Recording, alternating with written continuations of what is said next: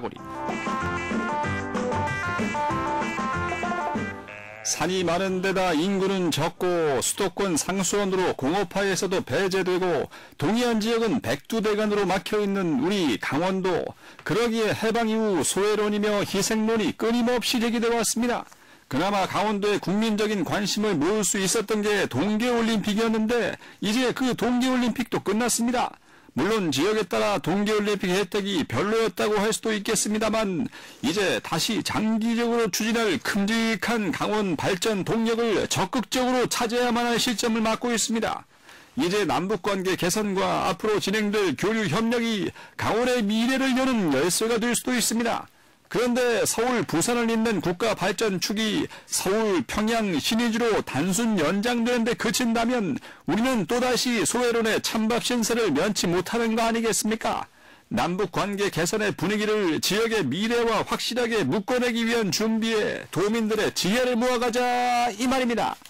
북강원 금강산과 해금강, 명사심리를 지역과 연계하는 공동사업도 구상하고 철원 궁예도성 복원 방안도 연구하면서 다시 강원도의 국민적인 관심과 국가적인 지원을 끌어들일 깃발을 들어올려야 한다는 얘기입니다.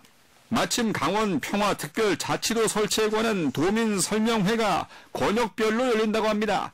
어떤 방안에 대해서도 실현 가능성에 의문을 제기하며 그게 가능하겠어 하고 꿈 같은 얘기를 하면서 주저앉을 수도 있습니다. 그러나 모든 첫 술에 배부를 수는 없는 일이고 시작하면 반응 가는 거 아니겠습니까? 오는 23일 춘천권역을 시작으로 원주권, 강릉권에서 설명회가 열린다는데 자포자기 하기 전에 희망을 갖고 의견을 모아가자 이 말입니다.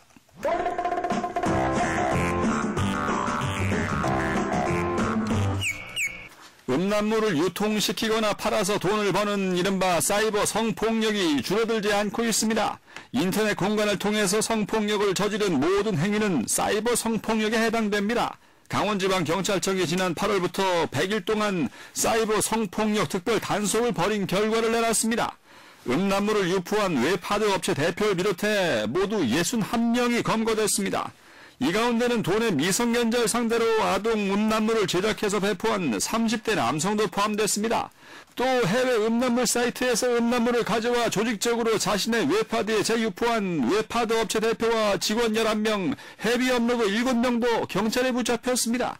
한 피의자는 음란물을 게시해 7,600만 원의 부당 이득을 남겼습니다. 경찰이 삭제한 음란물만 60만여 개. 그러는 사이 사이버 성폭력을 당한 피해자들은 피눈물을 흘리며 2차 피해를 당하지 않을까 전전긍긍하고 있습니다. 하지만 지금 이 순간에도 인터넷 사이트와 일부 웹하드에는 불법 음란물이 판치고 있는 게 현실입니다. 가장 큰 문제는 불법 음란물을 유통하는 사람들이지만 소비자가 있는 곳에 불법 유통 범죄자도 있는 거 아니겠습니까? 돈을 내고 불법 음란물을 꾸준히 보는 사람들도 범죄에 가담하고 있다는 사실 깨달아야 되겠습니다. 한 사람 한 사람의 클릭과 다운로드가 모여 불법 음란물 유통업이 성행하고 동시에 그로 인한 피해자가 양산되고 있다는 것 잊지 말아야겠다 이 말입니다. 딱따구리였습니다.